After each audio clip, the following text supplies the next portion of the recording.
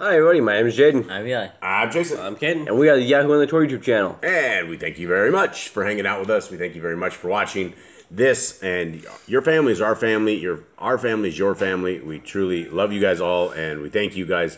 Thank everybody on YouTube. We thank everybody on Rumble. We thank uh, the very ghost town over on Odysee. Um, and if you guys ever watch it in the future on Odysee, it is a ghost town over there. But Odysee will probably be the last guy standing when uh, the powers that be censor about just everything, which they already have and they're already done. Um, so far, the tourist stuff hasn't been censored, um, unlike the rest of the events of 2019 and 2020 that have been censored pretty much off of the internet. all right, so we are into. Um, actually, how you guys doing? First of all, You Good. good? We have a lot of people out there that are praying for you guys. And uh, Cade, you doing all right? Yeah. You sure? He, he doesn't look very good. But Jade, you look, you looking better. I'm feeling better. You guys aren't hacking and wheezing, Eli. I think my six is gone. His sickness is gone. So uh, you were the first to get it. Uh, the last, they're the first to recover. Um, my alpha male immune system didn't really uh, get too plagued with it. I got a sore throat for maybe about five minutes, and then it went away. Eli, you're shaking your head. It's not an alpha. It's not an alpha. Tell me about my, my alpha immune system, please. Uh, so basically, he said he won't get sick he has a uh, beta immune system. If he, if he doesn't have a beta immune system, when he got sick, he had a beta immune system. Uh, I didn't get really sick though. I didn't end up uh, owned like you guys though. still That, that was the joke. Is uh, I, I told him that uh, I, I had an alpha immune system and I'm not going to be a beta, and uh, and I got a little sick, so I had to eat my words a little bit, or at least the kids are trying to make me eat my words, but that's okay. Here we go. Second uh, book of Adam and Hawwah, 19. This is going to be real short because we're not going to get into the next chapter. So we're only going to be doing this one and we'll discuss this. Um, and then we'll call this one short. So let's roll. Then Elohim revealed to him, and so who, who's him? Who? What are we talking I about? think it's right? Jared. I think Yeah, it's, it's, it's Jared. It's Jared that is who we're talking about right here. Then Elohim revealed to him again the promise he had made to Adam. He explained to him the 5,500 years and revealed unto him the mystery of his coming upon the earth. And Elohim said to Jared, As to that fire that which thou hast taken from the altar to light the lamp withal, let it abide with you to light the light to the bodies. Give light to the bodies, and let it not come out of the cave until the body of Adam comes out of it. So the thing I want to note here is that fire back in the day, you like, they didn't know how to make fires. They couldn't start fires yet. The fires came down on the altar. It was like fire before uh, the fallen came down and taught us like how to make weapons, how to beautify ourselves, how to start fires. We didn't know that stuff. We didn't. We were more peaceful people. Yeah. And the fires was especially from Elohim. Like if our offering is accepted, the fire would come upon it. If it wasn't, we would get no fire from Elohim. Yeah, and um, that's one thing here is um, the boys know how to make fire with flint and steel.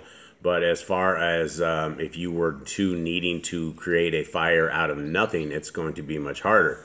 Um, you know, we have the uh, the older uh, I don't know if it's called Indian methods or whatnot, where you can take a couple sticks and you can uh, make a bow with it. But even then, um, I don't know if they were they would have to sit there and work and work and work and work. It's really hard to make fire out of Yeah, nothing. fire was supposed to be a special thing that only y'all had power to. We weren't supposed to ever know like how to make fire. Yeah. Well, and you could also see that the power of Hasatan, he was able to make fire, right. Right. And so Satan has a lot of powers and a lot of stuff that our Creator has given to him and has allowed him to wield. All right, so let's control. Continue on here. Uh, three. But, O Yared, take care of the fire, that it burn bright in the lamp. Neither go thou again out of the cave until thou receiveth an order through a vision, and not an apparition, when seen by thee. Then command again thy people not to hold intercourse with the children of Canaan, not to learn their ways. For I am Elohim, who loves not hatred and works, who loves not hatred and works of iniquity. So at this point, um, I think the fallen come upon the earth, and they have basically polluted the sea. And basically, Cain's people are polluted now. He's like, "Don't go with that. Hang out with Cain. You'll be polluted. Don't do their wicked deeds because they're doing evil things. They're learning from the fallen." And now there's giants, and their seed is completely corrupted. Yeah. And he's like, if you go with them, you're gonna be corrupted as well. So like, stay away from them because basically Jared's line, Seth's line, is a pure line compared to Cain's, where he's all corrupted with the Absolutely. fallen DNA. Yeah, fallen DNA as well as people that are not Torah keepers, and they they um, they do not care about the laws of our Creator. They do not care about our Creator, and they're down there partying it up like it's uh, 1999 or something. Okay, here we go. Um, Elohim also gave many other commandments to Yared and blessed him, and then withdrew his word from him. So it kind of shows that he knows the Torah, right? Because he gave him the commands, he gave him commandments, That's the thing is everybody had the commandments, right? right? And it's like before they was written down, everybody knew what the Torah was. They knew what was right. They knew what was wrong. They knew how to sacrifice. They knew what was clean and unclean. Yeah, and people will say, "Oh, Jason, uh, you're not one of the old people. You, you don't have Levites and priests to do sacrifices and things." You know, prior to um, ever having a Levitical priesthood, prior to ever having the sons of Jacob, Jacob, um, there was sacrifice, there was commandments, there were ways, and it is all about being obedient to our Creator. From the front of the book to the end of the book, if you want to be a child of the Most High, you want to walk in the laws, statutes, and commandments of Him. Before it was a law, the Levites were the ones who had to sacrifice, and that you weren't you weren't allowed to sacrifices. People were doing sacrifices. We had Abraham sacrificing. We had Isaac sacrificing. We had all these people sacrificing because they knew what to do. But then it became a law of the Levites, the ones who were ordained to do it. Yep, absolutely. Okay. Um, then Yared drew near with his children, took some of fire, and came down to the cave, and lighted the lamp before the body of Adam. And he gave his people commandments as Elohim had told him to do. This sign happened to Yared at the end of his 450th year, as did also many other wonders.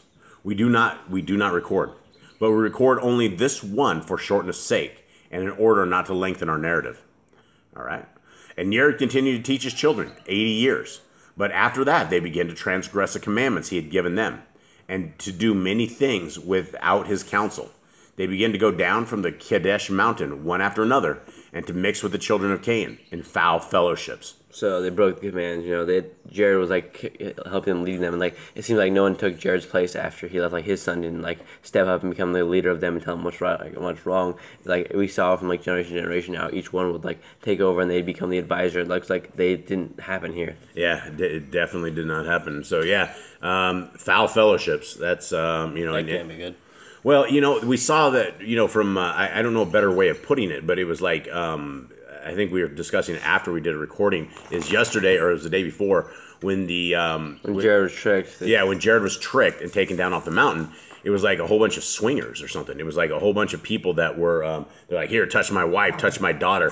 And, you know, that is how they l- were leading them astray by the vileness of the fornication and, and just, you know, uh, it's, crazy. Okay. sin. Yes, sin, the great road of sin. Okay, nine. Now the reason for which the children of Yared went down the Kadesh mountain is this that we will reveal unto you. Okay, and we're not going to reveal it today. We're going to leave you guys with a cliffhanger, um, and it's pretty crazy. Um, next chapter, um, I don't think we'll finish this this week because tomorrow's chapter is pretty long, but we will go into why and what all of what what's why the lure of Canaan's children. All right, guys. So we hope that you guys are keeping the law, statutes, and commandments of our Creator. Our dogs know that when we're uh, we're kicking it off, and they start talking and going crazy. So we love you guys very much. We hope that you have a wonderful day. Shalom. All right, shalom.